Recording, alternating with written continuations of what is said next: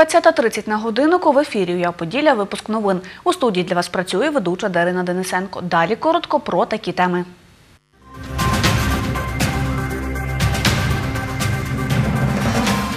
Дахи половини чемеровецьких хрущівок перекриють до кінця цього року за кошти ОТГ та мешканців будинків. Радіодиктант єдності сьогодні писали в приміщенні Хмельницької філії суспільного мовника ЮА Поділля. Чемпіон світу з кікбоксингу хмельничанин Олександр Ястребов після абсолютного чемпіонату світу з бойових мистецтв провів своє перше тренування.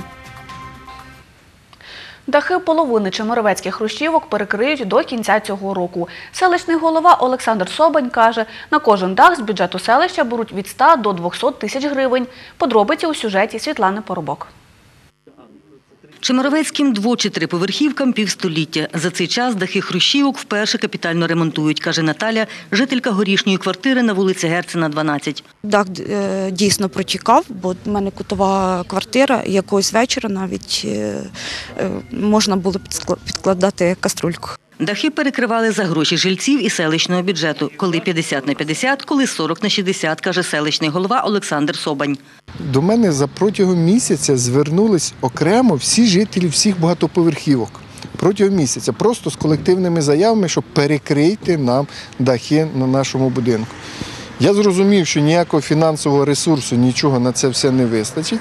Тоді, як е, перші, коли прийшли, я їм кажу, давайте ми попробуємо 50 на 50. Я даю вам всі матеріали, а ви шукаєте бригаду і платите за роботу цій бригаді. За гроші селищної ради купували шифер, дерев'яні крокви, жерсть та решту будматеріалів. Жителі збирали гроші на оплату роботи будівельників та самі мали перевіряти якість виконання робіт. Нас виконала бригада із Летави будівельників, і звичайно, що чоловіки нашого будинку контролювали, слідкували за їхньою роботою, але претензій і проблем з ними ніби не було. В межах 6 тисяч. Бо в нас невеличкий будинок і нас е, мало жильців, то, то ось так нам пішлося. Мешканцям сусіднього будинку перекриття даху коштувало дешевше. Житель будинку, депутат селищної ради Ігор Забіяка каже, не всі мешканці одразу погоджувалися внести свою частку в капремонт. Заходиш на кришу і дивишся, і бачиш е, зірки на небі. Так що негайною проблемою це стало. Але повірте зразу, коли виникає проблема, не всі активно в цьому включаються. Я живу на першому поверсі, мені це не потрібно. Я живу всередині, мені не потрібно, а мені не капає, а мені не тече. Але в переконанні і в розумінні, і в спільному, і кажуть, доказовому такому, що повірте, що ще рік, два, три, п'ять, ну ніхто не, не зробить. Так що спільними зусиллями ми пішли на таку співпрацю. Зрештою, після перекриття першого будинку почали звертатися й жителі інших багатоквартирних будинків, розповідає селищний голова. За неповний рік перекрили дахи 10 будинків та планують до кінця 2019-го перекрити дах 11-ї Крущівки. На наступний рік, за словами голови, надійшло чотири заявки від жителів двоповерхівок. Перекрити ж усі дахи чемеровецьких багатоквартирних будинків планують за 4-5 років. Це е, солідарна така відповідальність привчає. Ну я надію, що це буде як стимул до утворення ОСББ, що вони їх згуртуються. Світлана Поробок, Іван Мовчан. Новини на Суспільному. Хмельниччина. Нові платіжки без урахування суми пільги отримали цього місяця українці. Це через монетизацію, яку запровадили у жовтні. Про це кореспондентам Суспільного розповів заступник міністра соціальної політики України Віталій Музиченко. За його словами, порядок нарахування пільг не змінився. Гроші можна отримати двома способами – готівковий та безготівковий. Станом на жовтень середній обсяг розрахованих пільг на одного пільговика становить 420 гривень. за жовтень всі пільговики, як і субсиданти раніше, будуть отримувати повний розмір платіжки без урахування пільг і субсидій. Паралельно з цим відповідні кошти будуть перераховуватись або на їх обліковий запис в Ощадному банку, або на той банк чи Укрпошту, якщо вони виявили бажання і звернулися до органу соцзахисту щодо отримання відповідних виплат у готівковій формі. Пільговик, який надав інформацію про номер мобільного телефону, що місячно буде від банку, отримувати смс-повідомлення про те, яка сума йому нарахована пільги, і яким чином відбулися взаєморозрахунки уже між банком і постачальниками послуг.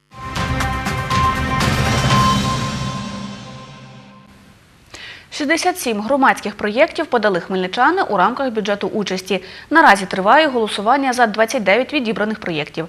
Про це новинам на Суспільному розповіла начальниця управління економіки Хмельницької міської ради Оксана Новодон. За її словами, голосування триватиме до 21 листопада, і кожен охочий може підтримати ті 5 проєктів, які йому до вподоби. В цьому році було подано е, 67 проєктів на участь у конкурсі. Однак попередній відбір пройшли лише 29 проєктів, які були допущені до голосування. На наступний рік ми виділяємо 3 мільйони гривень для е, реалізації проєктів. Е, В попередні роки були, е, якщо сумарною сумою, вже витрачено 5 мільйонів гривень на е, подібні проєкти. 2017 року здійснюється реалізація проекту. Це буде четвертий рік реалізації проекту. У минулому е, році е, були заявлені такі цікаві проекти, як смарт-бібліотека. Е, Є проект по влаштуванню відпочинкових зон біля нашого спортивного комплексу Пускирів. І з'явилися два парклети, де після занять спорту можна відпочити, провести гарний час.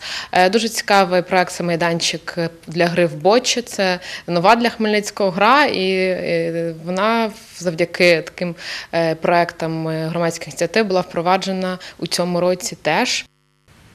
19 осіб, а це прес-офіцери військових частин Хмельницького гарнізону, філії державної установи Центр пробації в області та команда суспільного мовника ЮА Подія Поділля писали всеукраїнський радіодиктант єдності в приміщенні телерадіокомпанії.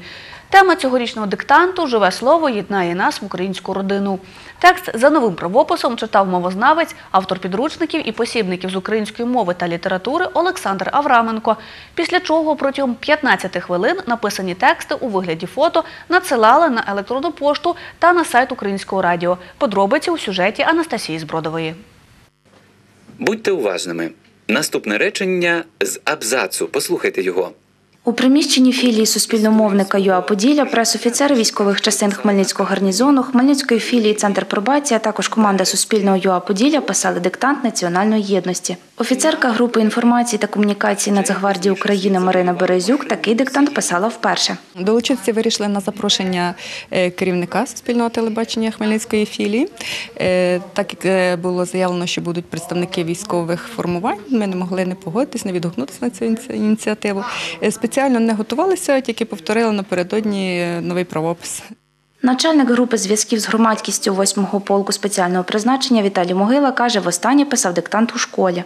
Про диктант е, чув ще раніше, але запрошення отримав вперше.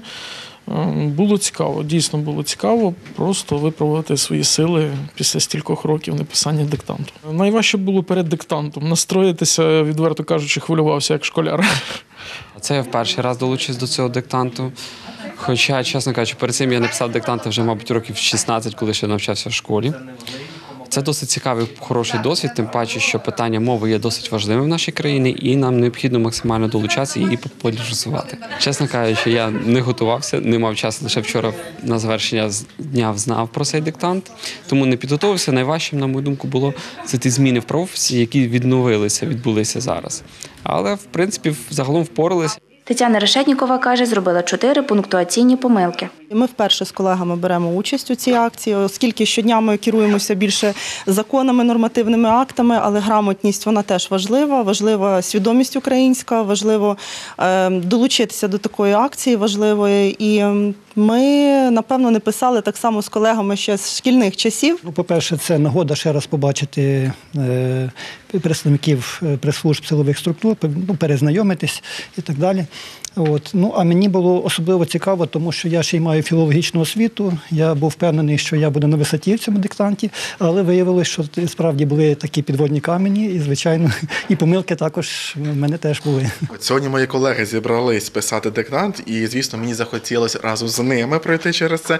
І було дуже цікаво, тому що справа від мене я постійно чув: Ей, не списуй! А в результаті на не списав я на 9 помилок. Це взагалі тере та коми. Назва цьогорічного диктанту від бересту до цифри йдеться про еволюцію у передачі та збереженні інформації. Текст за новим правописом читав мовознавець Олександр Авраменко. Справді начитувати е, диктант до цього треба мати хист. І тому завдяки ось е, такій правильній начитці, я гадаю, що більшість українців написало диктант правильно і пам'ятають про те, що нововведення треба приймати до уваги, і сподіваюся на гарні результати. Цього року в приміщенні UA Поділля одночасно писали 19 осіб. Це вдвічі більше, ніж минулого, каже продюсерка Хмельницької філії суспільного мовника UA Поділля Любов Тімкова. Суспільний мовник Поділля вже вдруге долучається до радіодиктанту національної єдності саме в такому форматі. Минулого року е, саме в цьому кабінеті за цими столами у нас були представники нацменшин е, області. Цього року ми писали в такій ем, команді пресофіцерів ем, частин Хмельницького гарнізону. Анастасія Збродо, Олександр Горішевський. Новини на Суспільному. Хмельницький.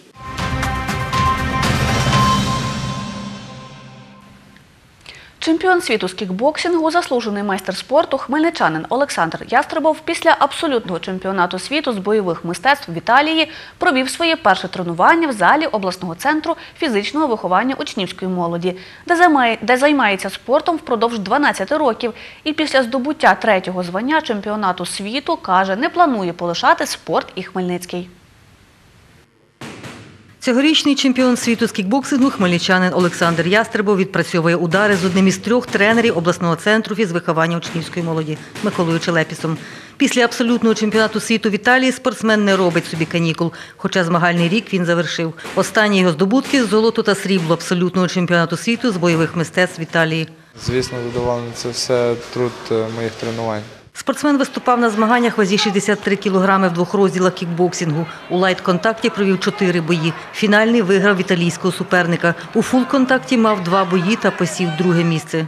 Було більше п'яти тисяч учасників. Це були якби всесвітні ігри. То там були різні види спорту. Були ММА, кікбоксинг і тому подібні. У нас е, вся збірна України в золоті приїхала. На абсолютний чемпіонат світу з бойових мистецтв тренери спортсмена не супроводжували. Не транслювали змагання й на українських телеканалах. Все, що залишалося наставникам чекати звісток та хвилюватися, кажуть Максим Чайковський і Микола Челепіс. Звісно, я хвилювався. Я з ним не їздив. Він їздив е, у складі збірної України, і я знав, що там є люди, які за ним е, подивляться, які його е, просекундують і зроблять все, як має бути. Це ну наразі це харківська команда, і це наші побратими, наші е, е, братська команда. Він подзвонив Максиму і повідомив після бою вже. Ми за нього кулаки тримали. Почесною грамотою привітав чемпіона директор обласного центру фізичного виховання учнівської молоді Анатолій Федосєєв, який каже, спортсмен такого рівня в школі стимул для початківців викладатися в залі на всі 100%. Коли є такі зірки в залі, е, коли діти можуть е, дивитися, і доторкнутися е, рукою до чемпіона, це дуже їх вдохновляє і спонукає на високі досягнення. Максим Чайковський розповідає, в заслуженого майстра спорту зіркової хвороби не помічає. Він дуже цілеспрямований. Він захотів піти восьмий полк служити. Він пішов 18 років. Він пішов, підписав контракт. Він вчиться в е, університеті. Він е, дуже в хороших відносинах з батьками, які його підтримують. Е, Він допомагає мені, якщо десь мені треба. Микола Челепіс згадує, яким був сьогоднішній триразовий чемпіон світу 12 років тому. Малий. Він був маленький, дуже швидкий і вибуховий. Тільки щось не так, зразу сльози, і обов'язково потім доводив свою правоту. І от яким став. Олександр Ястребов у 2019 році втретє став чемпіоном світу. Каже, полишати кікбоксинг не планує, але в майбутньому хоче перейти в професійний спорт. Наставники кажуть, хоч і сумно втрачати такого вихованця, відпустять, коли той вирішить піти. Відпущу. Е, Ніколи е, не можна примушувати е, людей щось робити. Все, що роблять люди, які вони йдуть до яких цілей, це повинно бути добровільно. Світлана Поробок, Віктор Кривий. Новини на Суспільному. Хмельницький. Це була остання інформація на сьогодні. Більше новин ви можете знайти на нашому офіційному сайті та на сторінці у Фейсбук. Побачимось!